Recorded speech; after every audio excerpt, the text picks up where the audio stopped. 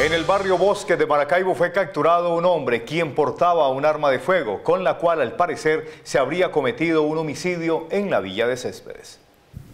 Sí, el caso de Bosque de Maracaibo es un caso de gran importancia para la seguridad de nuestro municipio. En, este sector es capturada una persona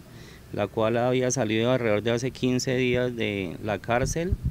eh, estaba eh, eh, capturado por el delito de porte ilegal de armas. A esta persona se le halla una pistola 9 milímetros,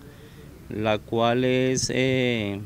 eh, la es capturada esta persona y dejada a disposición de la autoridad competente para que responda por el delito de porte ilegal.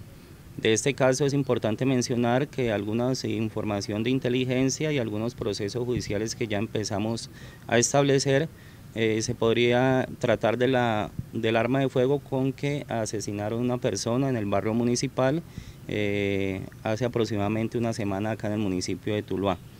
Eh, esperaremos el experticio de esta arma, esperaremos el proceso de la audiencia que está para el día de hoy y esperar pues que esta medida, esta persona pues se le den una medida en centro carcelario y poder nosotros eh, a partir de esta arma desarrollar otros protocolos judiciales frente al esclarecimiento del hecho del homicidio del barrio municipal.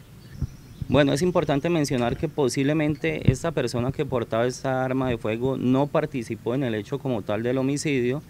pero sí esta arma eh, fue dada a otras personas que ya están plenamente identificadas, otros dos eh, jóvenes, los cuales eh, están plenamente identificados y pues ya le corresponde a la justicia pues entablar algún vínculo y poder establecer eh, la participación de estas personas en este hecho de homicidio en el barrio municipal. Al parecer, una mujer le habría suministrado el arma de fuego al capturado.